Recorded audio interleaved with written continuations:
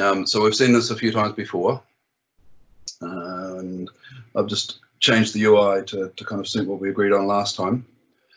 Uh, but the idea is to be able to provide um, sitemaps to your site, which will uh, provide an index to Google um, when you're doing your SEO stuff. After your demo, I read an article about sitemaps, and there are some features, super weird features. I don't remember which ones. In sitemaps, I had no idea existed. What was it? Something you didn't manage in your demo. Um, so I haven't done images yet, and there's a reason for that. No, not images. I said you didn't manage. Um, what I I hope I will be able to find it. Um, I did localized extensions. Localization. That's it. Thank you. You can define the language on the sitemap entry of the item so that Google will know when indexing a content for which language it has to to index it. So it's it's more than what you get from the. Yes, you can relate. Yes, yes, that's it. I think you can relate content items exactly. So when you will be in a content item, you could well on a page you could say this is the French version of this other page, or that was something like that. I think I, I found an issue. I commented on that on Gitter. I don't know where, but I put some notes somewhere. Um, we should turn we should turn it on then and see what it looks like.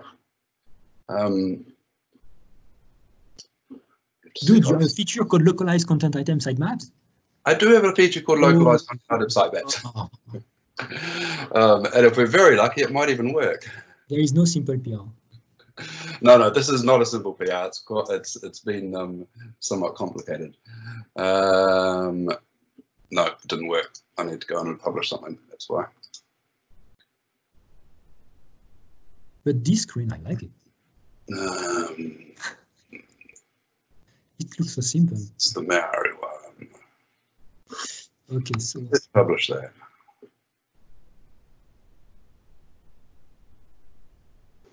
And so it's so these are localization extensions for Google sitemaps. Um, so Bing will still read this sitemap, but Bing doesn't support the extension. Um, but what you get is the um, the primary content item first, and then the secondaries. Or yeah, yeah, primary culture of your site first, and then and then the secondaries. But you have to reference the initial post first, and then specify all of the alternates, including the original post, uh, to specify which language the original post is. That's good, very good, awesome. Um, so we did that. Um, Show us the UI. Yeah, yeah, the UI, that's the important thing here. Simple. Sitemaps, display sitemaps. Add a sitemap. So we rebuilt this to look more like the um, deployment plans. Know, building a sitemap. Okay, let's build a sitemap. Let's give it a name. Beautiful. Um, so we have an option here to disable it if you just want to turn it off for a little while. What is that? Um, it's just a enable and disable. Enable to disable routing. Okay, so you disable the sitemap. Okay. Yeah, so you, so you, if you don't want to delete it, but you're still doing some work on it, so it's not okay. quite publishing as such. It's not like published and draft or something like that. Okay. Yeah. Um, so then when we go in here, we can now add sitemap sources to it. Thank you. Of which we've only got the one at the moment, um, which is about content types mostly. Um, so you can either have all of your content types turning up into the, the sitemap, um, or you can just choose to put some content types in the sitemap.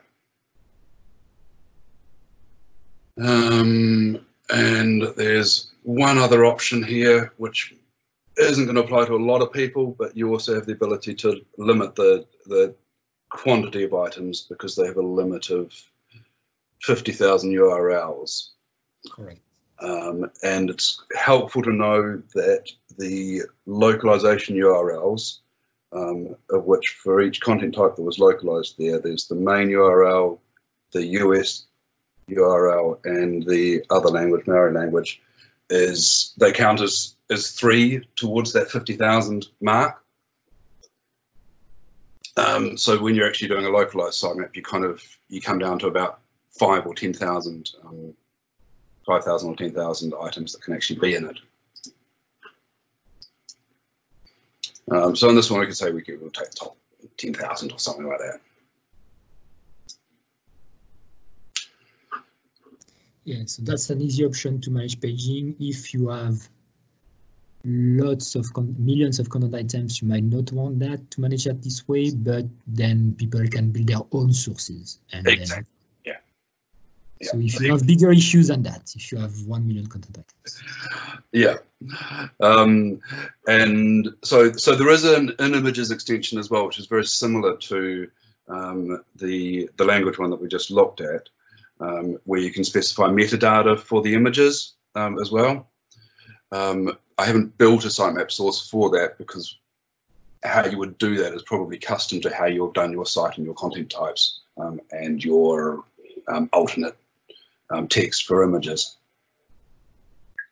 But you can build one um, to, do your images as well without too much difficulty. So we have that. And then if you are doing um, a lot of sitemaps, I've got three of them here at the moment. Um, we also have just a single index um, where you say sitemap index, where you say which your um, which sitemaps this one contains. Um, so if we save that, then it's just got the first sitemap.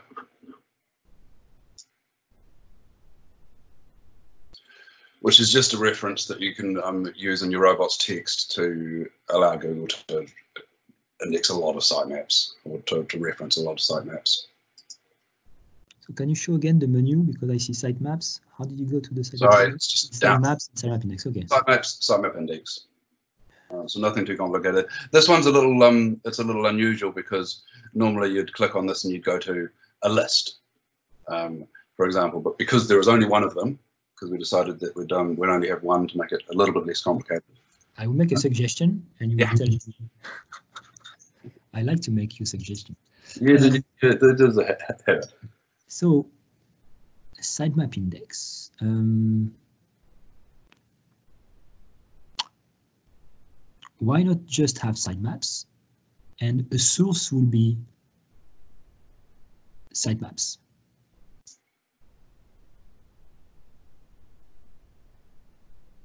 So we had done that. uh, We had kind of had something like that originally, where you clicked add sitemap here, and you could choose to add an index or um, or Yeah, an that's and that's not what I'm saying.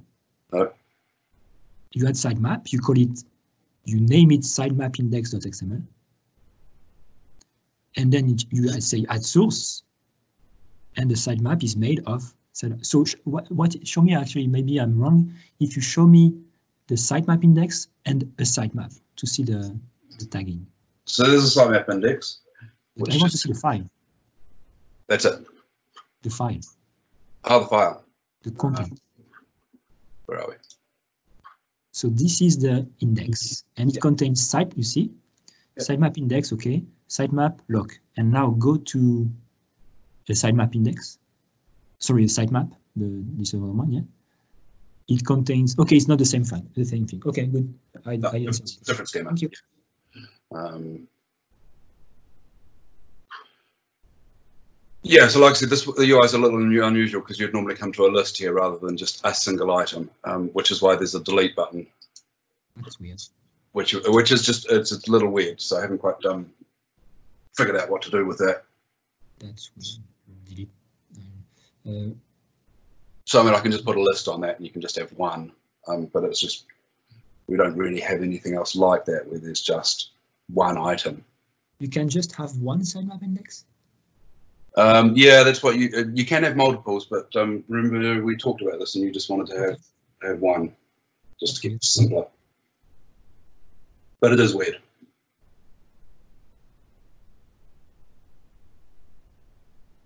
So that was probably the only bit on the UI that I really wanted to kind of cover off and figure out if we could do a little differently. Yeah, if you want to make a list, I mean, fine by me. I don't see why I would have that. I would have said that just make a page like this if it can be a list of things. Yeah, I mean, we can make it a list, um, but it's only going to have one item in it. Why? I just said that we could have multiple indexes, so we can have different names and. Uh, yeah, no, well, I think last time we went through this, you just wanted to have the one index. What? No. Yeah. Yeah, I can remember. no. That's weird. Yeah, we talked about how what the button should show when you click add, because first it was add, but if you can you go to the sitemaps list? Why, yeah, why, why, yeah, but you should say yeah. Last time we discussed uh, add sitemap or add sitemap index, and then you clicked add sitemap, and then you got the the, the pop up, and then it, was confusion. Okay, what's the difference? So, but I think it's yeah, it's weird that you click open sitemaps and then it says sitemaps again. I'm like, did I just not click on that? But yeah, you could show them both in one list but two list is fine. You have sitemaps and you have sitemap indexes. I don't see. Yeah, but for me it's weird that you have sitemaps, sitemaps, sitemaps index. It's, uh, there's a lot of sitemap. So, oh, I know you are talking about the menu on the left. Okay. Yeah, yeah. So it's a bit. Maybe you could somehow present it in one screen, or, or would it be too much? No. No. So you're just wanting to do one screen just because the menu on the left is confusing, and I don't like it. Okay. Just sorry. fix the menu, don't fix the screen. There are two different lists. It's like, no, it's okay. Well, there, there, there are nodes, nodes that you host. Easy enough. multiples, of, uh, yeah, because it is, it doesn't, it doesn't work right. Yeah, my comment was just about the fact that there is only one sitemap index and that could be any. Like there can be any sitemaps, and you build all indexes based on the sitemaps you want. Even if the same sitemap is used in two different indexes, that's fine. Um, well, I'm sure it's just a UI constraint, not a. It, it's just UI. I mean, I actually left the data behind it capable. Yeah, so we can, we can change it later. So. There's no problem. Then the fact that the menu has sitemap sitemaps, uh, there must be a good way to fix it one way to fix it is not to have to have the first sitemaps node just to keep in somewhere sitemaps and sitemap index. You can remove the sitemaps node, and that will be fine. But I don't know. Yeah, I mean, it would be nice if we had on these these menus the ability for for the top level to actually be a link to something. What call the top level one SEO, and you can have the sitemaps and sitemaps index, and later uh, all the things you want for SEO, and then. Why, why, not, why not just remove the top level one? Yeah, well, because you will have two items for sitemaps, and so, then when you want to add um, metadata and everything, you will want it also in the SEO because people will look at SEO. Yeah, we call it SEO. That's actually that's actually a good a good idea because we have an SEO PR coming on because we always have we always have multiple links to stuff. Um, like indexing has you know Lucene and Run. We don't we don't put them on on a, together on a top level as, as two items. But SEO is good. We can call it that. Yeah. Whatever. We just need to change the name yeah, of the better. top. That's that's the okay. That's, good. All good. Cool. Um, I think there was one other thing I did with this as well, but I probably won't demo it now. But um, there is a decoupled feature for it as well. Um, if you're using decoupled pages, so you can include your content types in there. Um, but that's all documented, so it's it's reasonably easy to do.